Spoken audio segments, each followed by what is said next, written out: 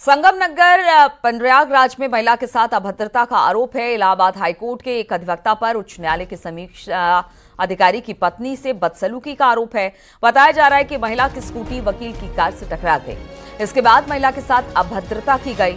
इस मामले का वीडियो सोशल मीडिया पर वायरल हो रहा है। न्यूज़ एटीन हालाँकि इस वायरल वीडियो की पुष्टि नहीं करता है।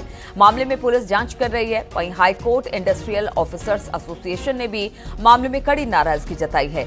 इलाहाबाद हाईकोर्ट एसोसिएशन के अध्यक्ष को आरोपी अधिवक्ता के खिलाफ कार्रवाई के लिए पत्र भी लिखा। वहीं आरोपी अधिवक्ता की भी पहचान कर दी गई है।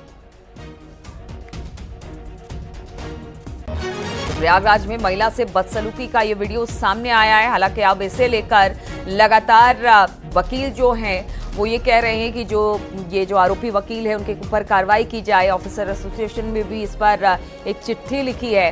बदसलूकी का वीडियो लगातार वायरल हो रहा है और बताया जा रहा है कि वकील पर मारपीट का भी आरोप है।